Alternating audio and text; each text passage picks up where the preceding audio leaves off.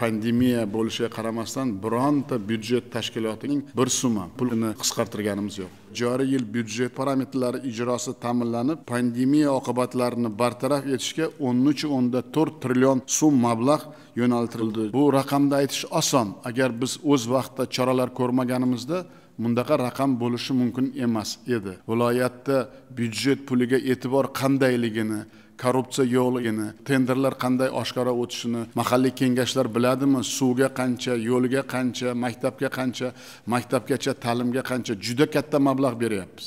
Biz mana shu oxirgi bir yilni ichida mahalliy kengashlarga juda katta e'tibor beryapmiz. Byudjet nomani ko'rib chiqqanda ham byudjetni tasdiqlaganda ham talab mutlaqo boshqacha bo'lishi kerak. Nimaga desangiz bu xalqimizni pulini nazorat qilishimiz nuqtai nazardan e'tibor berishimiz kerak. Keyingi yil byudjet bo'yicha juda ko'p ishlayapmiz. Hamma masalalarni biz ko'rib chiqdik. Ko'p sohada o'tgan yildan ko'proq ham mablag' beryapmiz.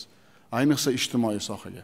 Hamma rahbar shahar rayondan boshlab o'zini byudjetini bilishi kerak. Temir daftarimiz ayollar daftari yoshlar daftari juda katta jamg'armalarimiz bor. Sanoatni rivojlantirib kichik va o'rta biznesga yo'l ochib bersak u byudjet bo'ladi. Kelgusi yilda iqtisodiyotni jonlashtirish orqali kamida besh o'nda bir foiz o'sishga erishishimiz kerak. Bu kelgusi yilda juda katta qilgan chora tadbirlarimizga zamin bo'ladi. Shunday marra qo'ymasak rejalarimizni bajarolmaymiz. Birinchi kundan boshlab aytgandim sizlarga shu sharoitda ishlashga yashashga hamma choralarimizni ko'rishga o'rganishimiz kerak. Boshqa yo'limiz yo'q.